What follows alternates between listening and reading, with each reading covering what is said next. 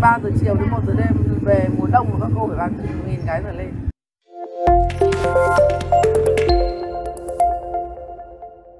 Xin chào mọi người, lại là Tu Tu đây. Hôm nay thì mình sẽ dẫn các bạn đi ăn một món mà mọi người nhất định phải thử khi tới thành phố Nam Định. Mọi người hãy cùng theo mình xem đó là món gì nhá. À quên, mọi người hãy like và subscribe kênh để ủng hộ chúng mình ra thật nhiều clip mới nhá. Còn bây giờ thì đi thôi.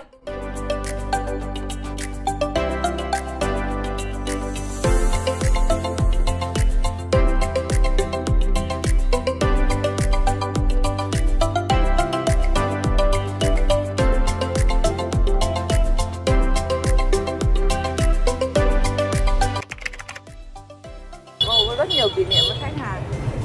Bởi vì ờ, ông đời cũng phú cho cô có trí nhớ lâu. Khách hàng của cô có những người giờ dắt cả con về đây cả con dâu con rể về đây ăn cái gì.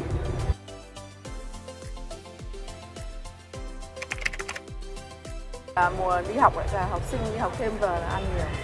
Học sinh cấp 2, cấp 3 ăn nhiều. Tầm từ 9 rưỡi 10 giờ trở đi là nhiều đối tượng thành phần ví dụ những người ta chuyên môn lao động về đêm này một buổi bán hàng từ 3 giờ chiều đến 1 giờ đêm về mùa đông các cô phải bán nghìn cái rồi lên. Còn mùa này trung bình nó phải từ 3 đến 500 Có nhiều khách mua nhà cô khách mua mang đi thì rất là nhiều. Dụ như tầm công nhân tăng ca ấy. Là cô cứ ship bánh mì ra các khu công nghiệp năm bảy chục cái có nơi người mua 100 cái lúc.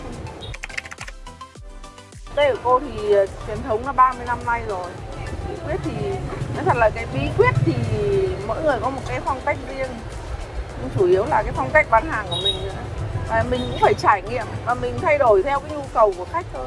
Ví dụ như là ở quê cô thì ờ, thành phố cô người ta kiểu này nhưng ở thành phố của các mình phải tự thay đổi theo cái cái, cái nhu cầu của khách chứ mình không thể mang cái này áp dụng đi tỉnh khác được.